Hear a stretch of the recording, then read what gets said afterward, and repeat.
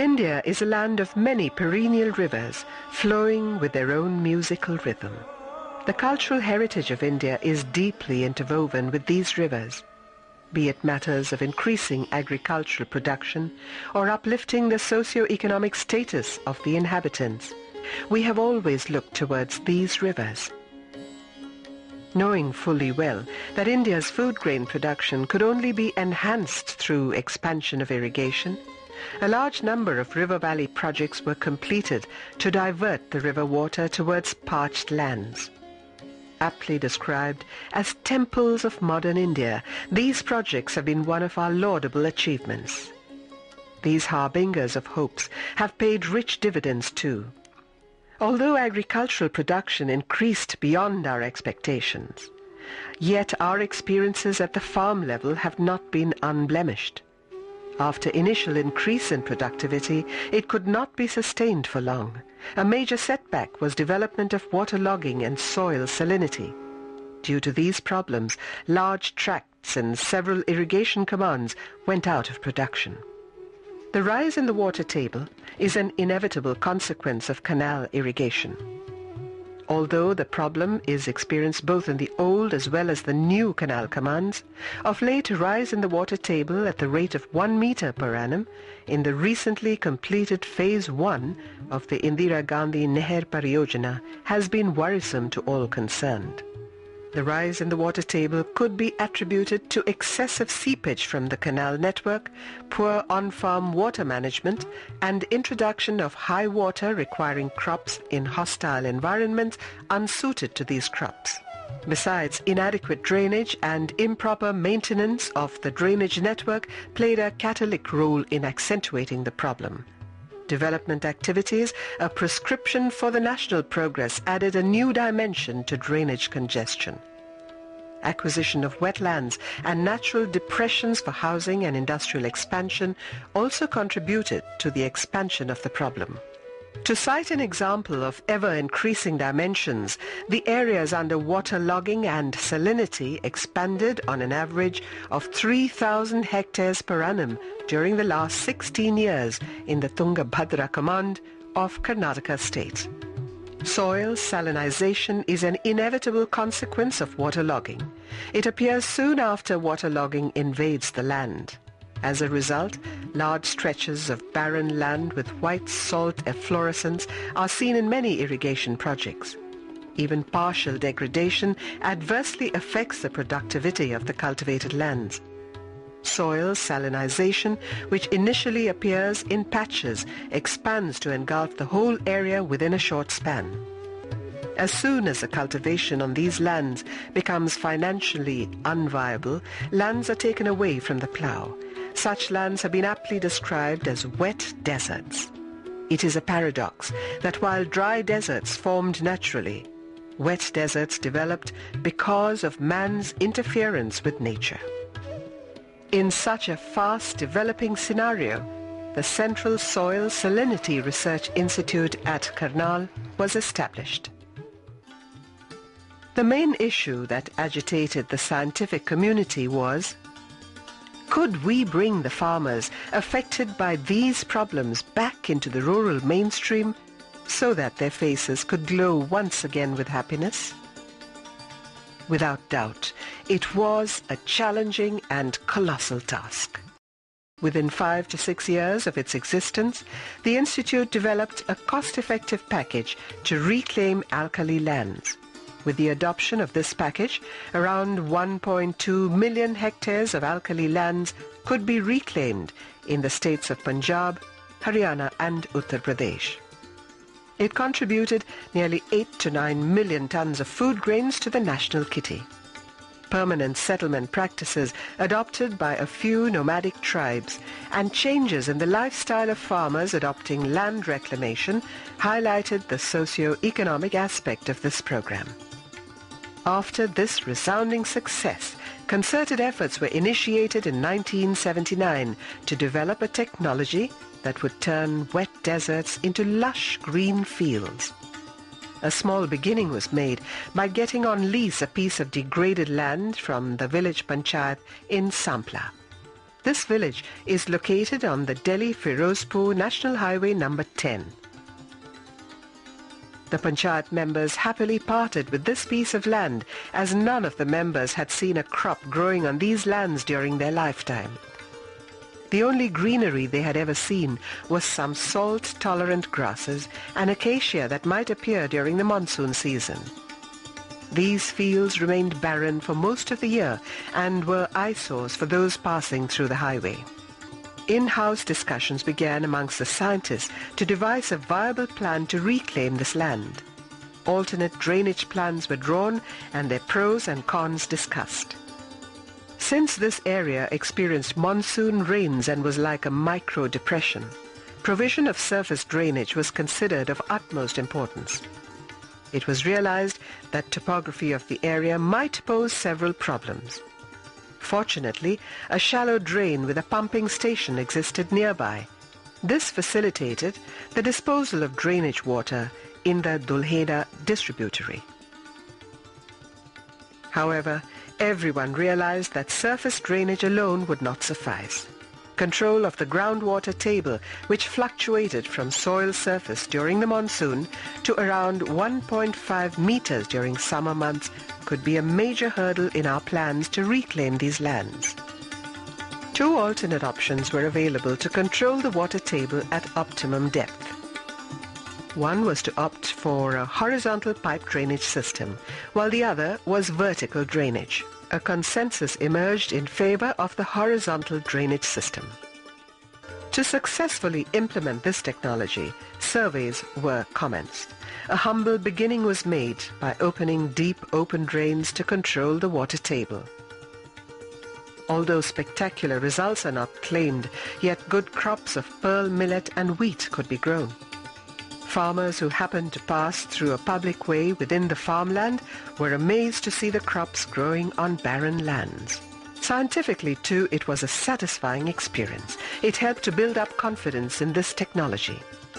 Considering operation and maintenance problems, expenses involved in operation, and difficulties in mechanization of agricultural operations, it was decided to construct pipe drainage systems. In all subsequent installations, PVC pipes and synthetic filters were used. The next essential step was to leach down the salts. This process, known as leaching, requires that water be stored on the land surface.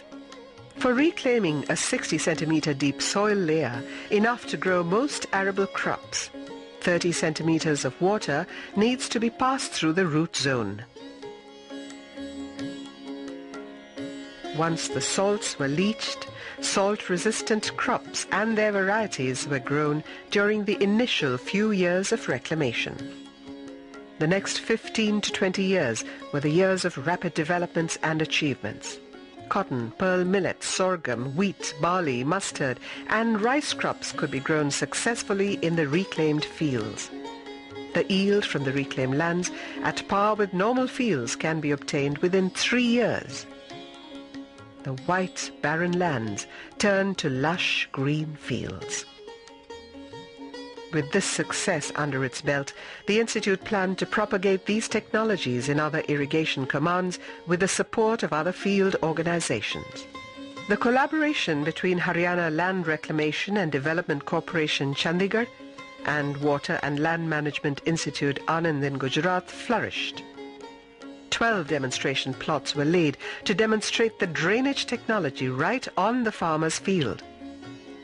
The powerful technology was demonstrated to the farmers on their own fields.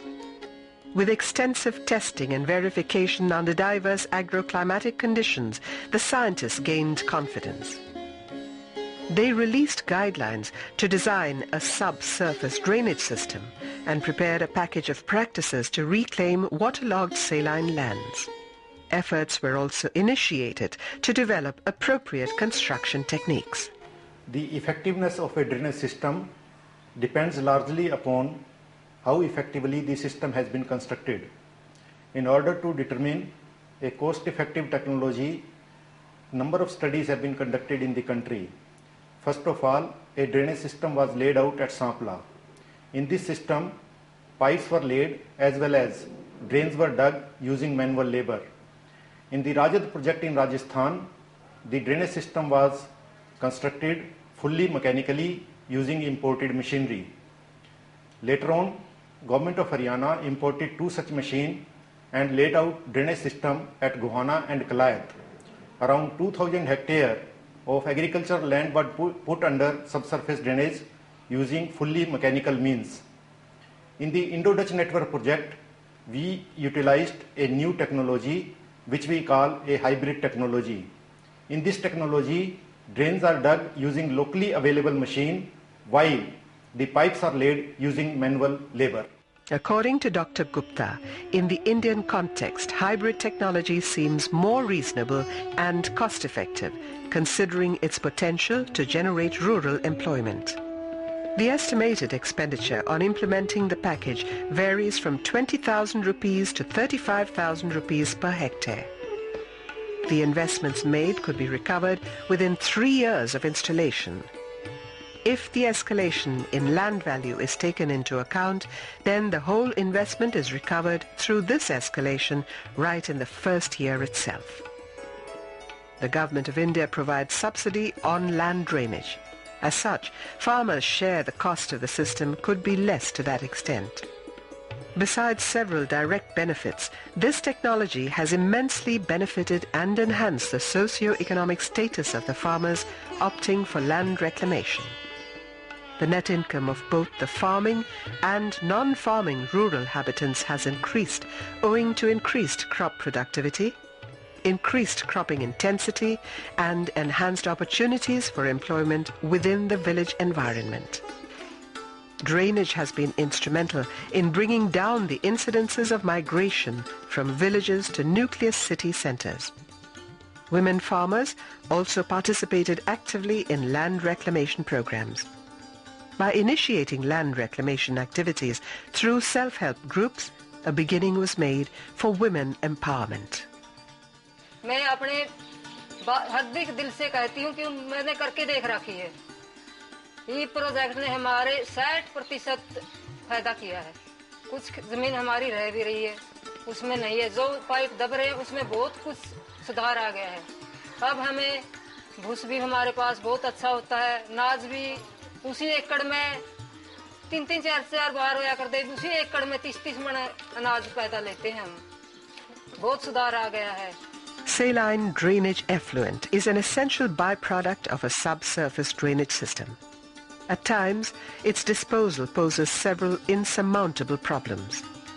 Several ways and means to dispose of or even reuse it for crop production were explored and made a part of the technology. A part of the drainage effluent must be drained to maintain salt balance.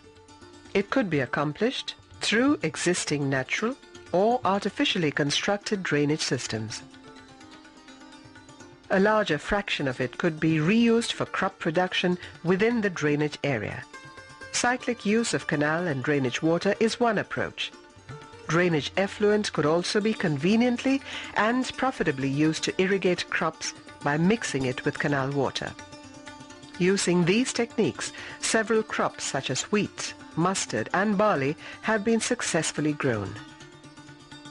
In the absence of an appropriate natural drainage system, the drainage effluent could be disposed of through evaporation tanks.